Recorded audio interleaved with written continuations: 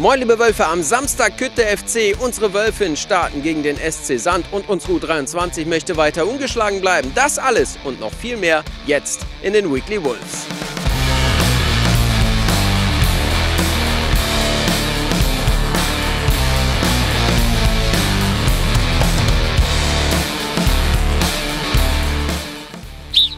Erstmal gut Kick in die Runde und herzlich willkommen zu den neuen Weekly Wolves und damit auch Anpfiff zur neuen Bundesliga-Saison. Eine absolute Weltpremiere, das hat es hier noch nie gegeben im Verein beim VfL, denn unser Co-Trainer Michael Angerschmidt, der wurde ein bisschen zu laut an der Seitenlinie, dann kam der Schiri ums Eck, zack, holt den gelben Karton raus, streckt ihm ihn vors Gesicht und sagt, so mein Freund geht's auf jeden Fall nicht. Und wie gesagt, absolute Premiere, noch nie gesehen, hat's noch nicht gegeben und ey, ich bin völlig fertig, also ich bin raus.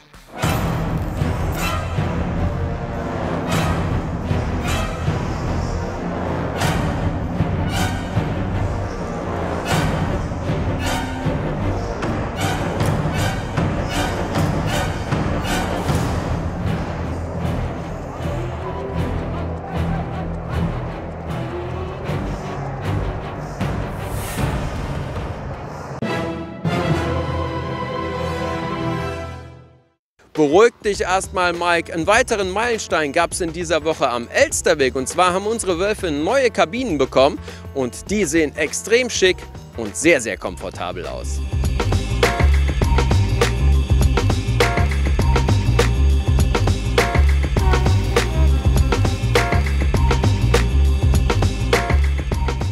Wir haben jetzt wirklich endlich alles hochmodern, unter, alles unter einem Dach. Die Spielerinnen haben eine tolle Kabine, tolle Nasszellen. Ähm, das Trainerteam äh, ist direkt vis-à-vis nebenan und kann äh, dort die Trainingseinheiten und die Spiele vorbereiten. Wir haben ähm, einen tollen Bereich äh, für die Physiotherapeuten. Ja, alles offen, alles hell, alles modern. Ähm, wir stehen gerade in dem Bereich, wo wir unser Athletiktraining durchführen. Das war früher auch an verschiedenen Orten am Elsterweg nur möglich. Wir mussten immer von links nach rechts umziehen, auch schweres Gerät immer wieder transportieren. Jetzt können die Spielerinnen das Krafttraining direkt hier vor Ort machen und die individuellen Pläne, die sie haben, auch hier in kleinen Gruppen direkt absolvieren.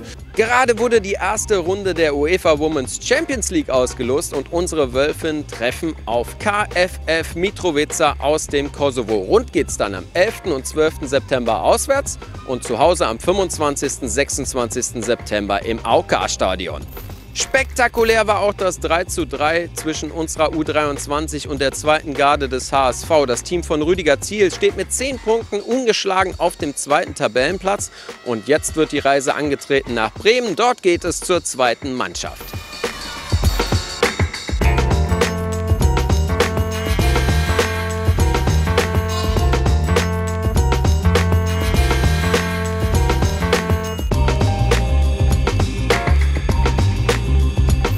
Als der VfL bisher zum einzigen Male die Saison gegen den ersten FC Köln eröffnet hat, wurde er am Ende auch deutscher Meister. Und den Flashback, den gönnen wir uns jetzt.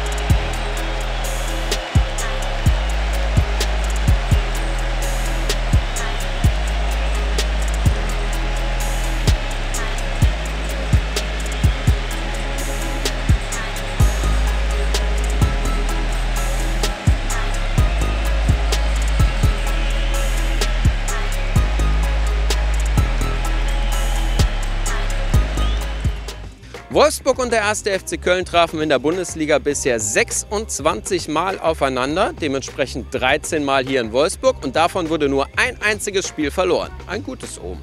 Wolfsburg ist bereits seit sieben Heimspielen in Folge ungeschlagen. Zuletzt, ihr erinnert euch alle, gab es das geile 8 zu 1 gegen den FC Augsburg.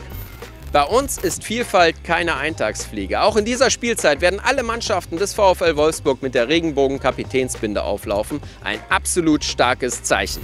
Neu bei uns im Programm, liebe Wölfe, die Spieltagsquizzes. Freut euch also drauf. Und wir haben auch mal unsere Spieler gefragt, was sie so denken, wer denn deutscher Meister wird in den Bundesliga-Predictions. Klickt euch also rein. Wir melden uns dann am kommenden Samstag nach dem Spiel mit den Stimmen zum Spiel und der Pressekonferenz nach dem Spiel. Ich sage vielen Dank fürs Zuschauen, sag bis bald, euer Felix.